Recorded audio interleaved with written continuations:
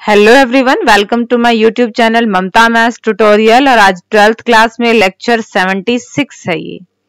आज हम करेंगे some properties of definite integral कई बार हम डेफिनेट इंटीग्रल्स का जो सिंपल मेथड करते हैं, उससे हमारे क्वेश्चन सॉल्व करने में कुछ प्रॉब्लम्स आ जाती हैं। तो डेफिनेट इंटीग्रल्स की कुछ प्रॉपर्टी हैं, जिनका यूज़ करके हम हमारे क्वेश्चन को थोड़ा आसान बना सकते हैं, ताकि उसका इंटीग्रेशन इजीली हो जाए। तो ये प्रॉपर्टीज़ क्या है वो देख लीजिए। First property integration from a to b f of x d x को integration from a to b f of t d t में चेंज कर सकते हैं। एक्स का फ़ंक्शन है तो integration with respect to x ही है और टी का फ़ंक्शन है तो integration with respect to t ही है। ठीक है? नेक्स्ट क्या है प्रॉपर्टी अगर आपके पास limits a to b f of x d x हैं तो आप उन लिमिट्स को चेंज कर सकते हो। ए से बी है, आप बी से ए बना सकते हो बट कंडीशन क्या है कि फ़ंक्शन का साइन आपने चेंज कर देना है। Next property integration from a to b f x d x अगर आपके पास लिमिट्स हैं ए से लेकर बी तक तो ए और बी के बीच में आप कोई सी पॉइंट ढूंढ सकते हैं और लिमिट्स को ब्रेक कर सकते हैं। ए से सी और फिर सी से b integration from a to c fx dx plus integration c to b fx dx. Next property. Integration from a to b f x d x को किसमें कन्वर्ट कर सकते हैं? Integration from a to b f of a plus b minus x d x में। दोनों ही limit को add करके उसमें से x घटा सकते हैं। x की जगह हम ये चेंजिंग कर सकते हैं क्वेश्चंस को सॉल्व करने में। ये और ये बराबर आएँगे। नेक्स्ट प्रॉपर्टी क्या है? ज़ीरो से a f of x d x है। उसको भी हम किसमें कन्वर्ट कर सकते हैं? Integration from zero to a f of a minus x d x next property देखिए। नेक्स्ट प्रॉपर्टी डिस्कस कर रहे हैं ज़ीरो से to a f of x d x इसको हम कैसे लिख सकते हैं? हम इसको हम दो इंटीग्रेशन में तोड़ सकते हैं ज़ीरो से ए और ज़ीरो से देखिए लिमिट क्या थी? टू ए थी। तो ज़ीरो से ए ज़ीरो से ए एक तो एज इट इज़ फ़ंक्शन रहेगा, और दूसरे को हम क्या लिख सकते हैं? F of two a minus x next two properties बहुत इंपॉर्टेंट है, ठीक है? अगर हमारे पास फ़ंक्शन क्या दे रखा है? Integration from zero to two a f of x d x अगर यहाँ पे हम f of two a minus x लगाए और वही फ़ंक्शन आ रहा है तो ये आपके पास जो टू ए लिमिट है ना, वो ज़ीरो से ए में चेंज हो जाएगी और टू आगे आ जाएगा। ठीक है?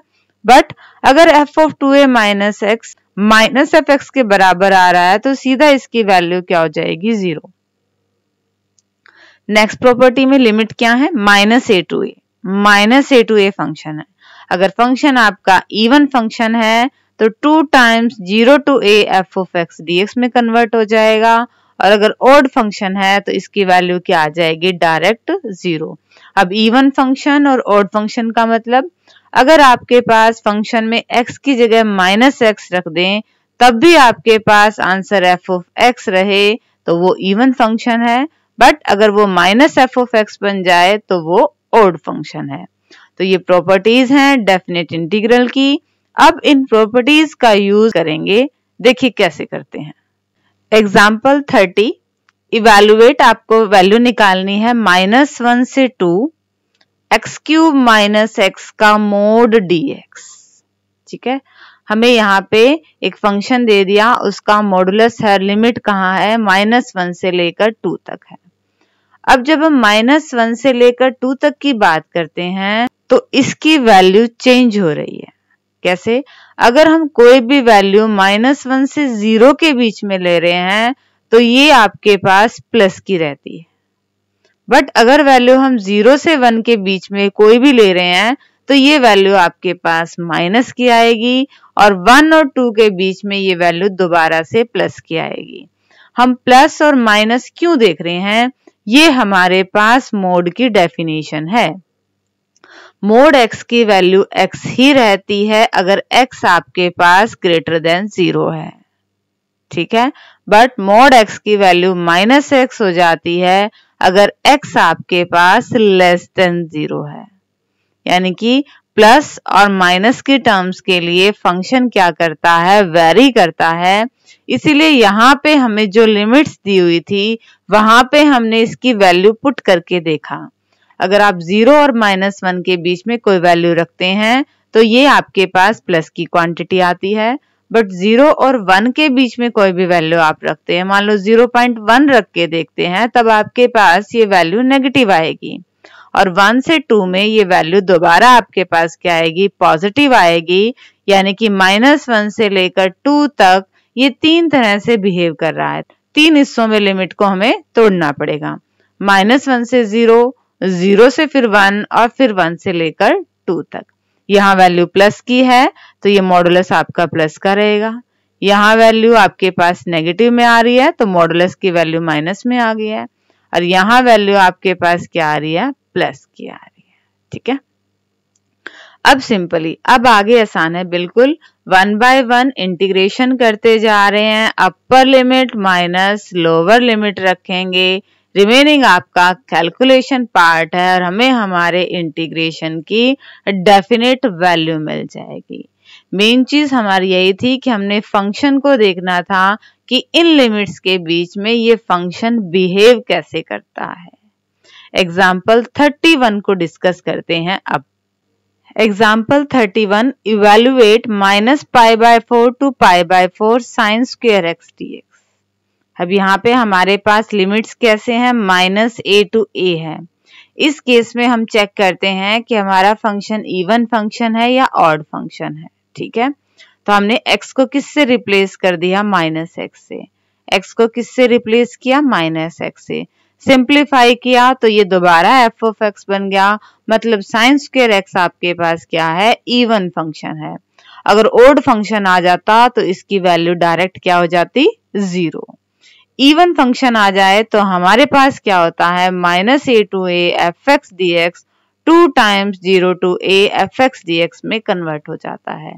तो यहाँ पे भी ये two times zero to a f of x d x में कन्वर्ट हो गया। रिमेनिंग हम इसमें फॉर्मूला लगा के इंटीग्रेशन करेंगे then upper limit minus lower limit देखिए कैसे कर रहे हैं। साइन स्क्र एक्स का फॉर्मूला होता है one minus cos two x divided by two d x two बाहर भी था कैंसिल आउट वन का integration x cos two x का इंटीग्रेशन साइन और फिर टू एक्स का डेरिवेटिव कहा जाएगा? डिनोमिनेटर में। इंटीग्रेशन के बाद upper limit minus lower limit और ये हमारे पास, हमारा रिक्वायर्ड आंसर आ गया। एग्ज़ाम्पल 32 को डिस्कस करते हैं अब। Example 32 evaluate zero to pi x sine x upon में one plus cos square x d x ये अलग टाइप के क्वेश्चन है, देखिए इनको कैसे सॉल्व करेंगे। लेट आई इसको आई मान लिया है इक्वेशन वन नाम दे दिया है। अब हम एक प्रॉपर्टी का यूज़ करेंगे। Zero to a f of x d x integration किसके बराबर होता है? Zero to a f of a minus x के। तो यहाँ पे एक्स को रिप्लेस कर दीजिए पाई माइनस एक्स से। Pi minus x as it is sine one eighty minus theta sine theta ही होता है। Cos 180 minus theta cos theta ही होता है। ठीक है? ये आपके पास क्या आ गई इक्वेशन टू अब आपने इक्वेशन वन और इक्वेशन टू को ऐड कर देना है। बेस सेम है तो ये टर्म भी ऐड हो जाएँगी। x प्लस पाई माइनस में x साइन x ये कैंसिल आउट हो गया। और पाई आपके पास क्या है? कांस्टेंट टर्म है। तो इसे हम इंटीग्रेशन से बाहर ले सकते हैं। ये क्या बचा? ज़ीरो से पाई साइन एक्स अपॉन में one plus cos square x d अब हम निकालते हैं इसका इंटीग्रेशन तो हमारे पास आ चुका है two I equal to pi integration from zero to pi sine x upon में one plus cos square x d x substitution method use करते हैं। कॉस एक्स को मान लिया टी वैल्यू आई minus sine x d x d t के बराबर। साथ में लिमिट भी टी में चेंज कर लेते हैं। जब एक्स की वैल्यू ज़ीरो है तो कोस ज़ीरो वन टी की वैल्यू क्या आ गई है? वन और जब एक्स की वैल्यू पाई है तो cos pi minus one t की वैल्यू क्या आ गई है? माइनस वन कंप्लीट एक्स का फ़ंक्शन कंप्लीट टी में चेंज हो गया विद लिमिट्स हमारे पास आया two I equal to pi one to minus one minus में डी टी वन प्लस में टी स्क्वेयर। अब यहाँ पे हमने हमारे इंटीग्रेशन की प्रॉपर्टी लगाई है। अगर हम लिमिट अपर और लोअर को चेंज कर रहे हैं तो फ़ंक्शन का साइन भी चेंज हो जाएगा। यहाँ पे माइनस का साइन था, बट हमने लिमिट अगर चेंज की तो अब ये प्लस का बन गया। वन अपॉन में one plus t square tangent inverse t का इंटीग्रेशन होता है। Upper limit minus lower limit रखी कैलकुलेशन पार्ट और ये हमारा आंसर आ गया। अब डिस्कस करते हैं next example example thirty three, evaluate minus one to one sine की पावर फाइव एक्स, कोस की power four x d x. ध्यान रहे अगेन, यहाँ पे लिमिट क्या है? Minus a to a. अब हम फ़ंक्शन को चेक करेंगे कि वो इवन फ़ंक्शन है या ओड फ़ंक्शन है। हमने x की जगह माइनस एक्स रखा, x की जगह माइनस एक्स रखा, x की जगह माइनस एक्स रखा। Sine minus x minus sine x के बराबर होता है और फाइव टाइम है तब भी ये माइनस बना रहेगा। But cos minus x cos x के बराबर होता है। तो हमारे पास ये आ गया माइनस एफ़ ऑफ़ एक्स। इस सिचुएशन में फ़ंक्शन ओड आ गया और ओड फ़ंक्शन आते ही इस कंप्लीट इंटीग्रेशन की वैल्यू क्या हो गई है? Zero. Example thirty four evaluate zero to pi by two sine की power four x upon sine की power four x plus cos की power four x d x. ऐसा ही क्वेश्चन हमने किया था, बिल्कुल सेम है, देखिए कैसे होगा। Let I equal to zero to pi by two sine की power four x upon sine की power four x plus cos की power four x d x अब हमने क्या किया? हमने डेफिनेट इंटीग्रल की प्रॉपर्टी लगाई। एक्स को किसमें चेंज कर सकते हैं? ए माइनस एक्स में। Pi by two minus x में pi by two minus x में pi by two minus x में। अब हमें पता है sine 90 minus theta cos theta sine 90 minus theta cos theta cos 90 minus theta sine theta एक equation one है starting वाली, अब इक्वेशन टू आई, दोनों को ऐड कर देंगे। डिनोमिनेटर सेम है टर्म सीधा ही जुड़ जाएँगी। कैंसिल आउट होके क्या आ गया? वन और वन का integration x upper limit minus में लोअर लिमिट तो टू आई की वैल्यू क्या आ गई है? पाई बाय टू हमें तो आई की वैल्यू निकालनी है, वो क्या आएगी? पाई बाय फोर ठीक है बच्चे? तो सिंपल इंटीग्रेशन था हमारे पास। हमने इंटीग्रेशन की प्रॉपर्टी लगा दी। उससे हमें एक और इक्वेशन मिली। दोनों को ऐड करते ही सिंपल हमारे पास क्या बचा? वन और वन का with respect to x integration क्या आ गया? X upper limit minus lower limit ये वैल्यू आई है टू आई की बट हमें तो वैल्यू किसकी चाहिए थी? सिर्फ़ आई की। एग्ज़ाम्पल थर्टी फाइव में देखते हैं, क्या पूछ रखा है? Example thirty five evaluate pi by six to pi by three d x upon में one plus under the root tangent x. थोड़ा इसको सिंप्लीफाई कर लें। टेंजेंट एक्स को क्या लिख सकते हैं? Sine x by cos x. यहाँ पे एल्सियम ले सकते हैं। बटे के नीचे बटे टर्म है, पलट जाएगी और इसे हमने नाम दे दिया इक्वेशन वन का। अब हम एक प्रॉपर्टी यूज़ करेंगे।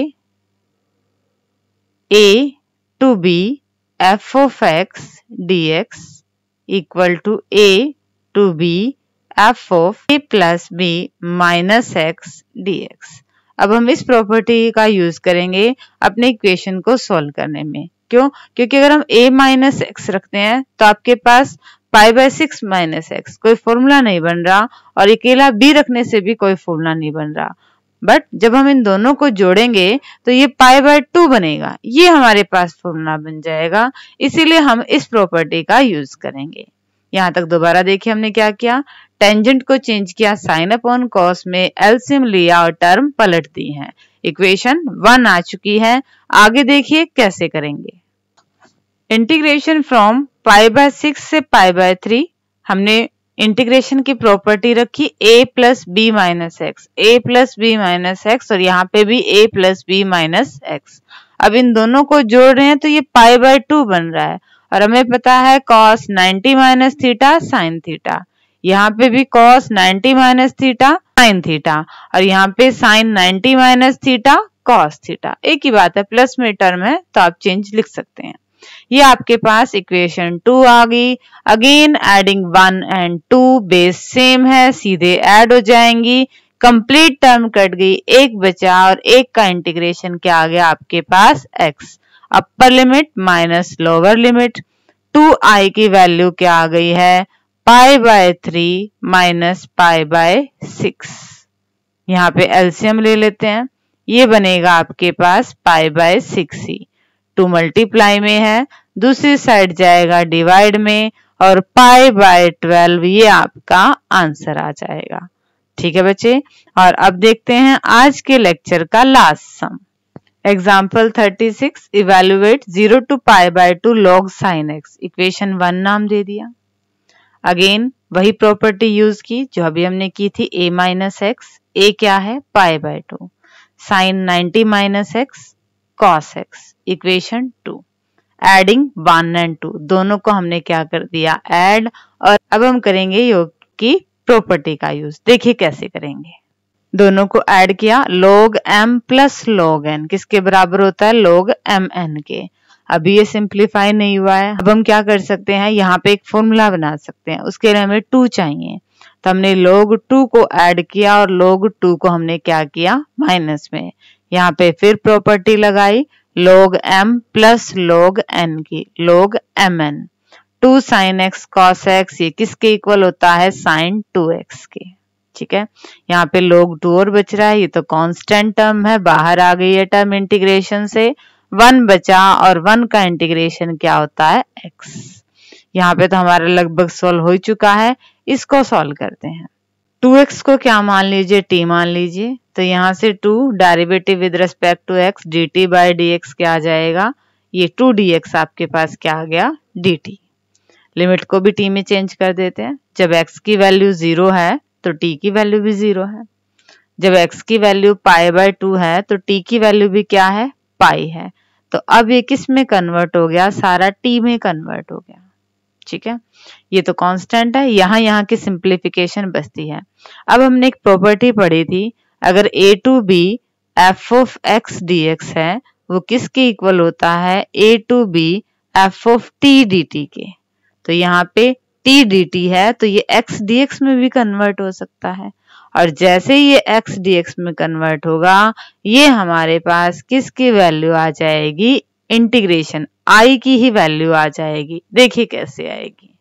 हमारे पास आया two I equal to zero to pi one by two log sine t d t minus में pi by two log two अब हमने अगेन इंटीग्रेशन की फिर एक प्रॉपर्टी की। अगर zero to two a f of x d x होता है तो उसे two time zero to a f x d x में कन्वर्ट कर सकते हैं। तो यहाँ पे पाई था टू बाहर ले आए और पाई बाय टू कर दिया। टू से टू कैंसिल आउट हो गया। अब ये सारी वैल्यू को टी वाली को हम किसमें रिप्लेस कर सकते हैं? एक्स में। और ये हमारे पास किसकी वैल्यू थी? आई की। आई प्लस का था। दूसरी साइड गया माइनस में।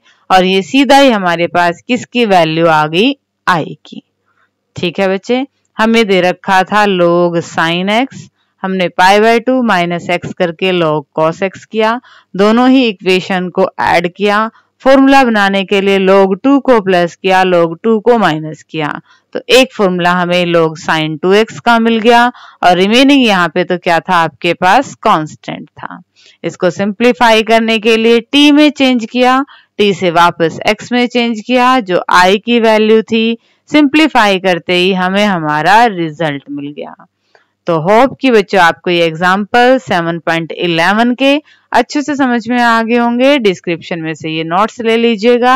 आगे सिलेबस करने के लिए मेरे चैनल से जुड़े रहिए। इसे लाइक कीजिए शेयर कीजिए सब्सक्राइब कीजिए। Thank you